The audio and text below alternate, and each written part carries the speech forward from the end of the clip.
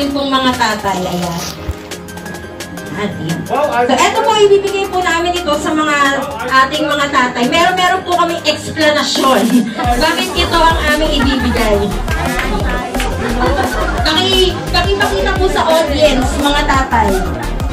Kita nyo ba yan? yan po ay ang tinatawag na payong. Mahiwaga po yung payong na yan, hindi mo ba alam? Yan po payong na yan, pag ginamit nyo ay ah, may kapangyarihan yan na magaganda. Pero ito po, kung bakit po payong ang naisip namin ibigay para sa inyo, mga tatay, pakinggan po ninyo ako.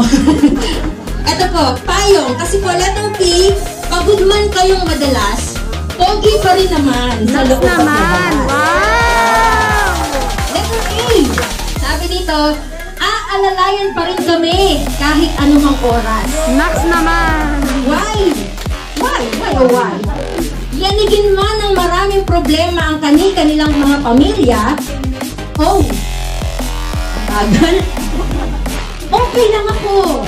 Yan ang kanilang dialogue kahit madalas nahihirapan na. Asan po ako na? And, nananalangin madalas para makahugot pa ng maraming lakas.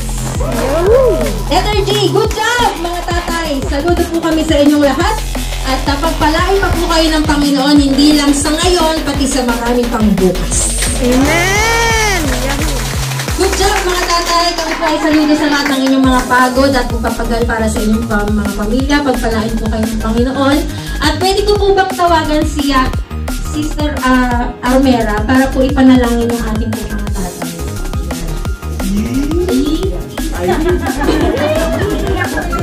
Ate Alma, po sa mga ah, nanay ng takanan at ah, siya po ay may bahay ni Brother.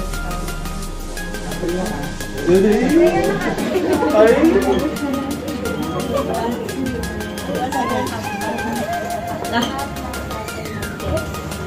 At higit sa lahat sa ating Ama sa langit. eh. Uh, in atin po insist Bless your name, O Lord, Happy Father's Day, our Father in heaven. Maraming salamat, O Lord God, at tinawag mo kami, O Father God, na yung mga anak, O Lord God. We are so blessed, O Lord God, that you have called us, O Lord God, your children. O Lord, dinadalaan po namin, O Father God, ang mga tangkay na ito na nasa harapan, O Lord God, Lord, pagpalain niyo po sila, O Lord God. Hindi lamang, O Lord God, Spiritually, O Lord God. Pagpalain niyo po sila, O Lord God. Wisdom and knowledge, O Lord God. Kung paano nila, O Lord God. Mapag maitaguyod, O Lord God, ang kanilang pamilya, O Lord God. Not ang ng ito ay manggagaling lamang sa Lord God. Lord, maraming salamat sa buhay nila, O Lord God. Na patuloy, O Lord God, na ginagamit nila, O Lord God sa iyong gawain, O Lord God. Patuloy niyo po sila, O Lord God. Patuloy niyo po sila, O Lord God, na tulungan, O Lord God, na may, maibigay, O Lord God, ang the best, O Lord God, na kaya nilang ibigay para sa iyo, Lord God. And Lord, maraming salamat, O Lord God, sa mga pagpapalay, O Lord God, sa kanila sa trabaho, O Lord God. Lord, ingatan niyo po sila, O Lord God. Lord, sa oras ng panlilitis, O Lord God. Lord, maraming salamat, O Lord God, sa, sa pagkabay niyo sa kanila, O Lord God, sa pagbibigay, O Lord God, na kapayapaan, O Lord God. Pagbibigay, O Lord God, ng katag, O Lord God. Maraming salamat, O Lord God, dahil kung wala kayo, O Lord God, hindi nila, O Lord God, kakayanin ito, O Lord God. Maraming salamat, O Lord God, wala sa kanila sa kundi pasasalamat dahil sa pagbabay niyo din sa kanila, O Lord God, ama ng tahanan, O Lord God, para maging provider, God, for family, O Lord God. Thank you for everything, O Lord God.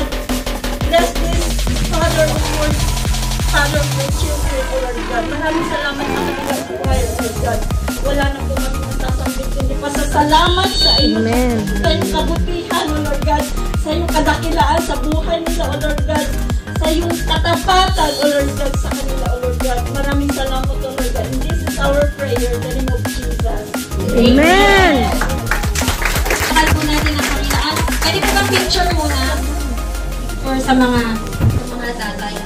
Tapos, brother Kai, pwede pa po niya. Okay, class picture kasama ang principal. Sila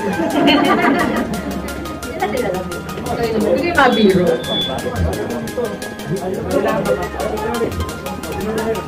Diba nagkakain at dito?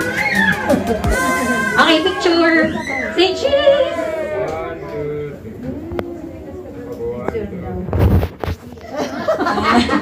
Palakpakan po natin ang mga opa. Opa ng JSC. Salamat po mga tatay. Aking po yung mga kaupunan. Salamat po. At ngayon po, bago po tayo dumiretso sa mensahe ng Panginoon, may gusto pong magbigay ng